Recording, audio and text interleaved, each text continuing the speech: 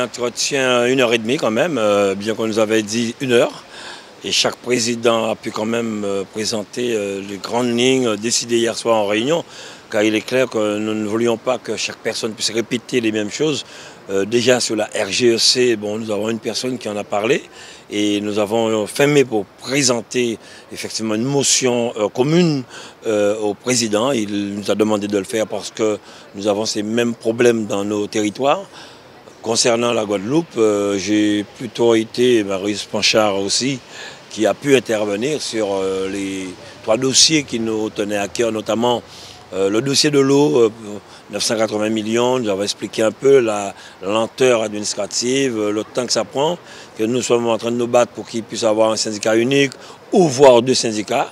Comme la région le dit, j'ai entendu certaines choses, mais je préfère ne pas répondre, car il faut savoir pour l'instant que la région a investi 32 millions sur le barrage de Moreau, et ce sera un, ouvrage qui sera redonné par la suite euh, au département.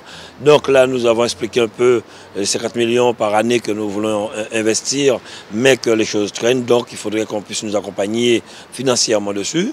Nous avons parlé aussi de la banane pour arriver aux 100 000 tonnes pour permettre le recrutement de 500 euh, euh, jeunes Guadeloupéens, 500 agriculteurs et peut-être permettre à ce qu'il y ait d'autres euh, recrutements indirects et cela aussi permettra par la suite à Dunkerque aussi de pouvoir recruter, il faut le dire aussi, des jeunes. Cela augmente la charge de travail de, de, Dunkerque. J'ai eu le président, M. Xavier Bertrand, qui nous accompagne dessus, qui a même déjà écrit à ce niveau-là au au ministre de, l'Agriculture euh, pour pouvoir nous accompagner rapidement. Nous sommes prêts à y aller, prêts à accompagner les agriculteurs. Maintenant, c'est administrativement et que l'État français puisse nous accompagner, peut-être l'Europe qui a une autorisation à donner.